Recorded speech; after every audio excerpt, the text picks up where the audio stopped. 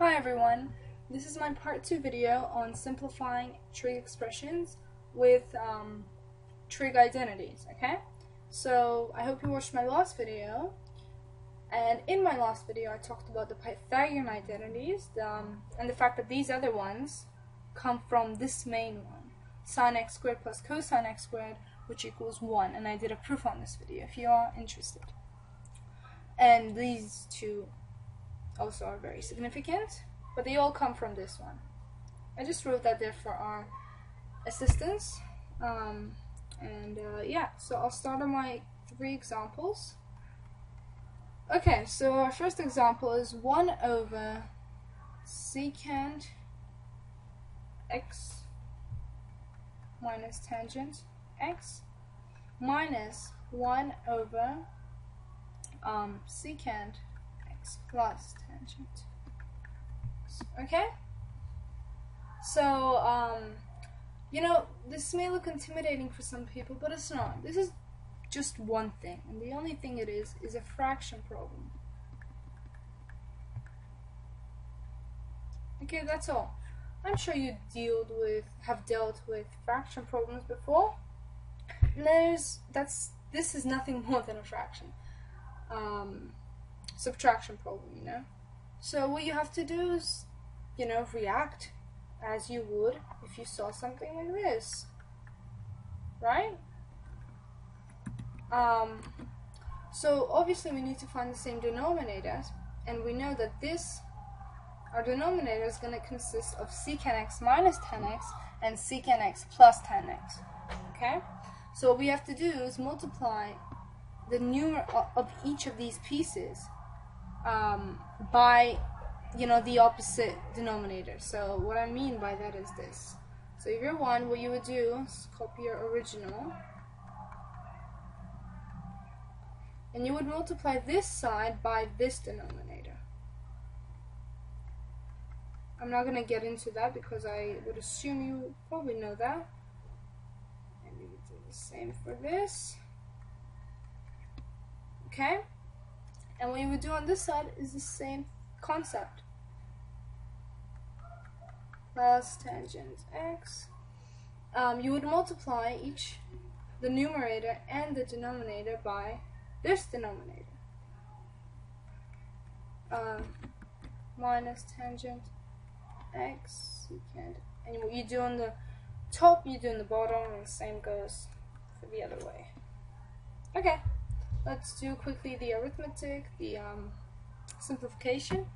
So if I multiply, actually what I'm going to do is look at my denominator for a second. Denominator is, um, we got the two pieces, the two same pieces on each side, you can say, on each in each fraction, right, in the denominator. So we can just take one of these. Since we have a secant x plus tan x on each side, we can just take one of them. And we have a secant x minus tan x here, and a secant x minus tan x. So we can just take 1 minus tan x. This is our new denominator, okay? Um, this, all you gotta do is just distribute this 1, right? So obviously you get here secant x plus tangent x and you have this minus sign okay? Never forget that. I even confuse that. A lot of people confuse forget about it. They forget about it and um, it leads to major problems in their answers. So 1 times this secant x. But put it I recommend you put it in brackets okay? After you distribute this put this in brackets. And um, because you need to distribute this minus sign okay and let's do that right now. So on top you still have your secant x plus tangent. And if you distribute, you get minus secant x. Minus times a minus is a, is a plus. And you still have your denominator.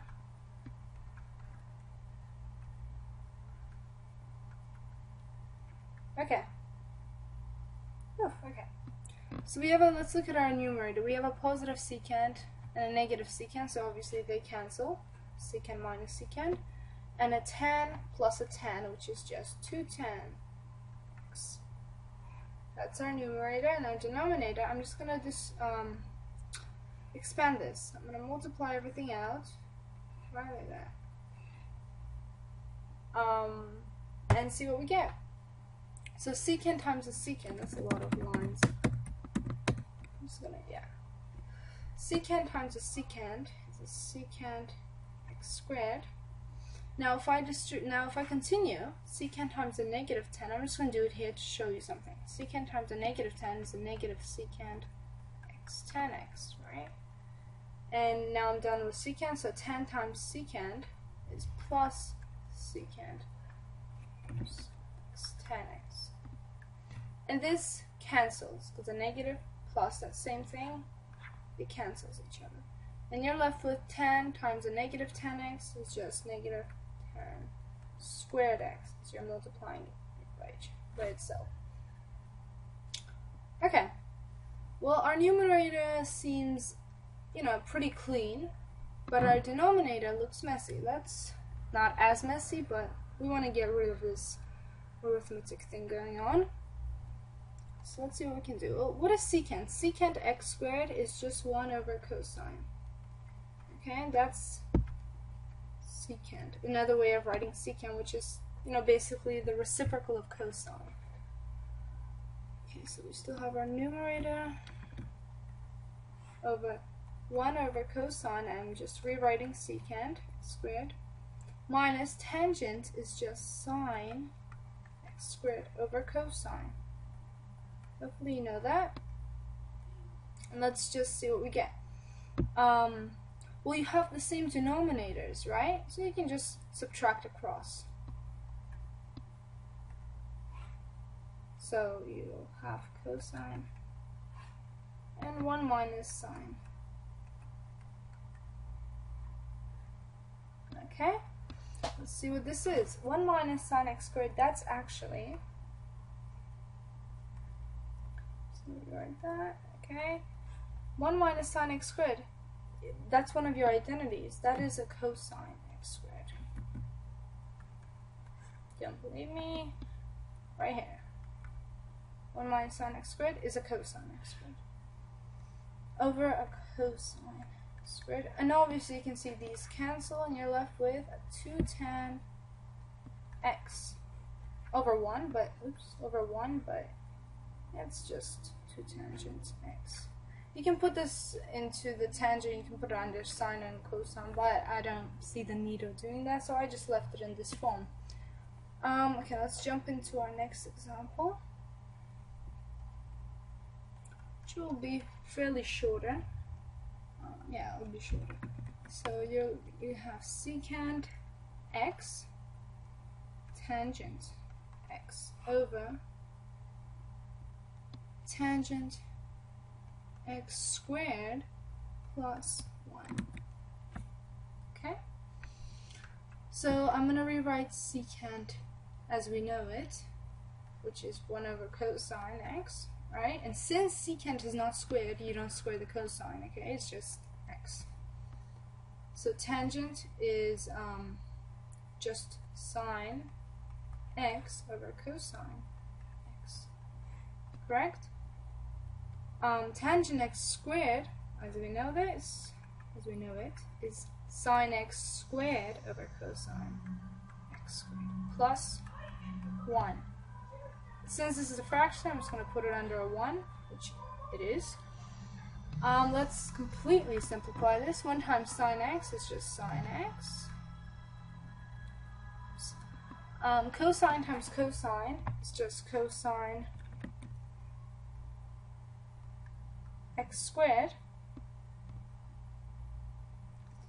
And here, let's see what we can do. Well, we just have to uh, multiply this by the numerator and denominator by cosine x squared so we ha can have the same denominators. And we'll be left with sine x squared plus cosine x squared over cosine x squared. Oops, what am I doing? And if I just go on the side, um, Well, look, we got the same denominators, so we can cancel that. And I hope you know that it's the main ones I am hoping. Sine x squared plus cosine x squared, that equals to 1, right? Our major one. Sine x squared plus cosine, that's 1. So this can be written as 1. Why did I do that? Um, okay, so we'll be left with sine over x. These two cancelled, and this is 1. Which is just, which is just sine. Okay, and that's the correct answer. Okay, I'm gonna do one more quick. oh my! I'm gonna do one more quick problem right here.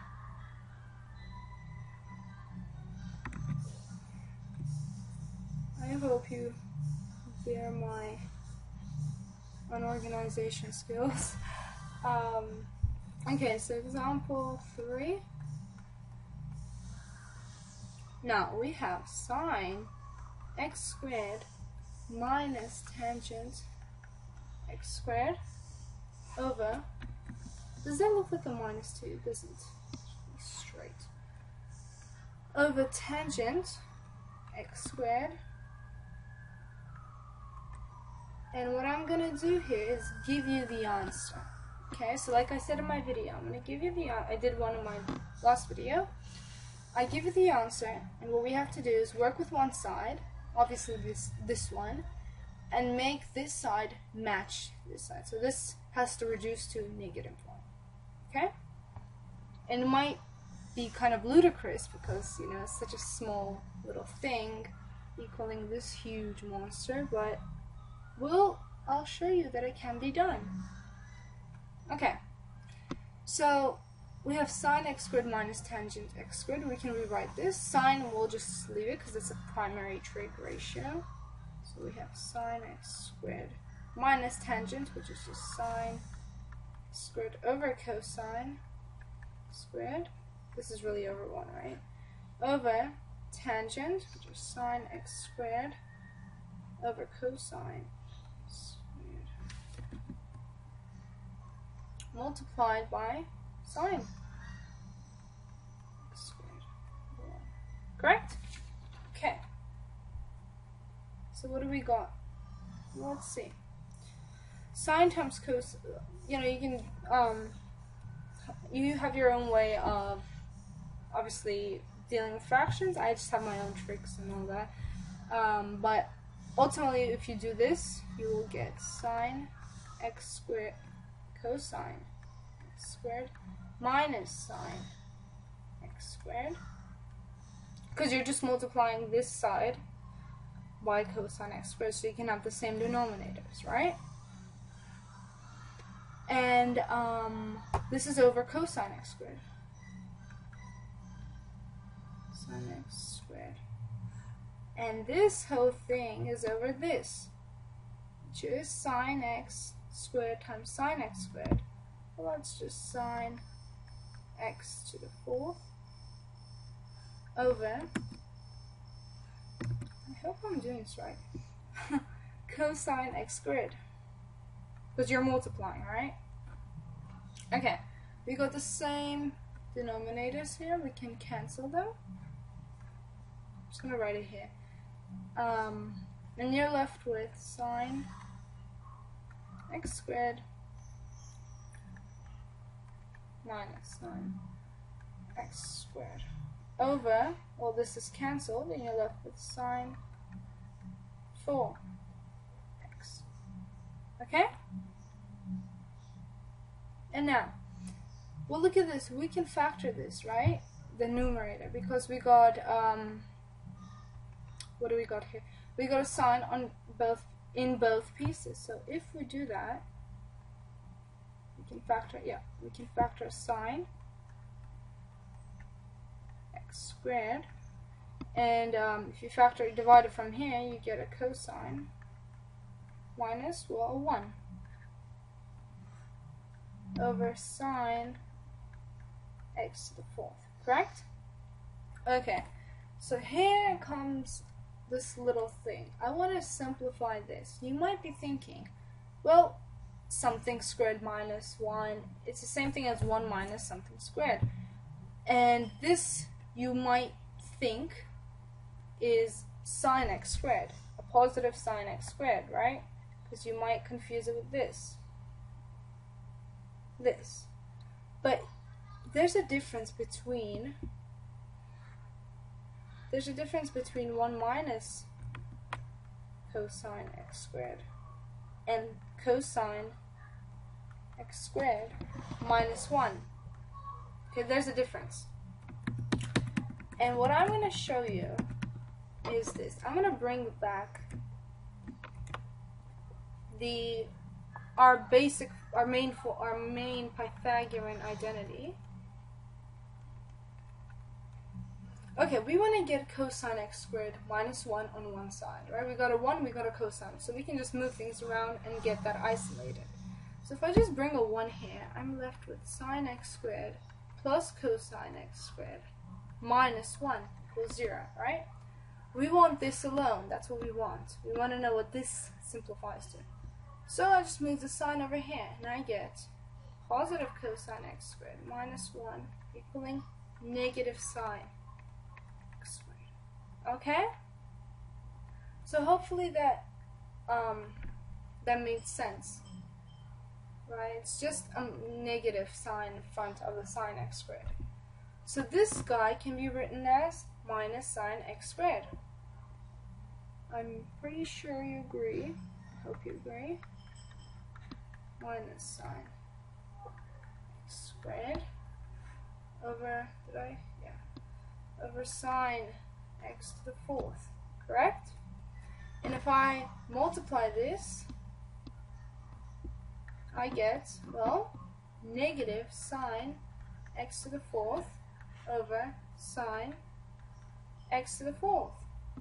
And what is that, if you kind of think about it like this, you cancel this, but you have your negative 1. It's not just a negative, it's a negative 1. So you're left with a negative 1, and that is the correct answer. Okay, um, yeah, that those were my examples. I hope you, I helped you in any way. Um, and I will see you in my next topic. Thank you for watching.